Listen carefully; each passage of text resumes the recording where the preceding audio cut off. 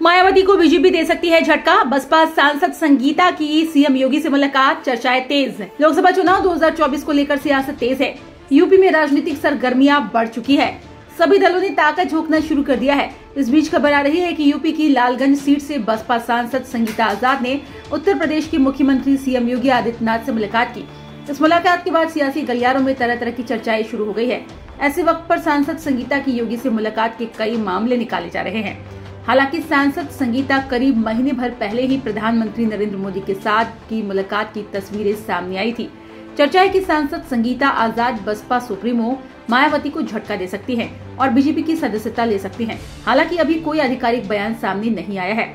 दरअसल बुधवार को मुख्यमंत्री योगी आदित्यनाथ की कार्यालय की ओर से सांसद संगीता के साथ मुलाकात की फ़ोटो सोशल मीडिया के माध्यम से शेयर की गई, जिसमें इस मुलाकात को शिष्टाचार भेंट बताया गया। शेयर फ़ोटो के साथ लिखा गया कि मुख्यमंत्री योगी आदित्यनाथ से आज लखनऊ में लालगंज लोकसभा क्षेत्र की संसद संगीता आज़ाद शिष्टाचार भेंट की। इस अवसर पर संगीता के साथ पूर्व विधायक लालगंज भी मौजूद रहे। आपको बता दें, इससे पहले संगीता आज़ाद ने दिल्ली में संसद सत्र के दौरान प्रधानमंत्री मोदी से मुलाकात की। हालाँकि उसी वक्त उन्होंने सफ़ाई दी थी कि उन्होंने अपने क्षेत्र में वंदे भारत की मांग को लेकर प्रधानमंत्री नरेंद्र मोदी से मुलाकात की थी। उन्होंने दावा किया था कि उनकी नेता मायावती ही हैं और वो पार्टी छोड़कर जाने की बात को निर्धार बताया था। लेकिन मंगलवार को सीएम योगी की मुलाकात के बाद एक बार फिर से चर्चाएँ तेज हो गई है।